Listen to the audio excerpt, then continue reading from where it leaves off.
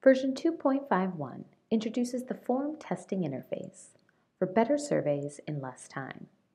With this powerful tool, SurveyCTO makes it easier to preview how your form looks and works, toggle between the test and design views to make quick fixes, save and resume progress from earlier testing sessions, and submit real data to test downstream processes.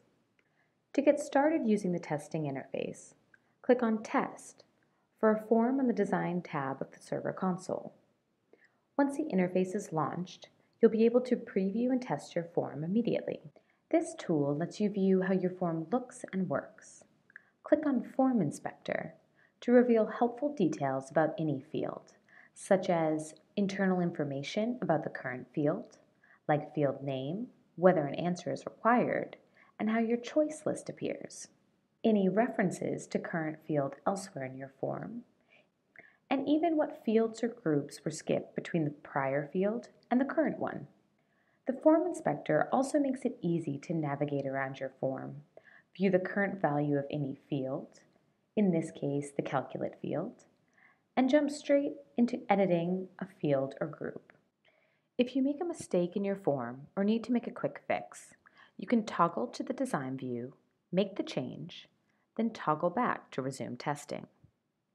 To switch to the updated form definition, you'll need to reload your test session, but you can save your progress and resume after it's reloaded.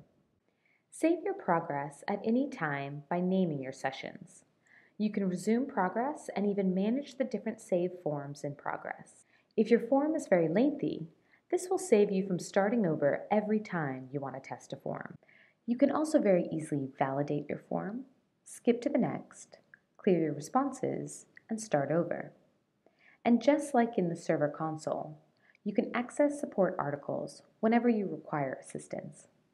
You can also use the interface to submit test data as real form data in order to test downstream systems like the review and correction workflow, automated quality checks, publishing to outside systems, data exports, and outside code to clean or analyze the data.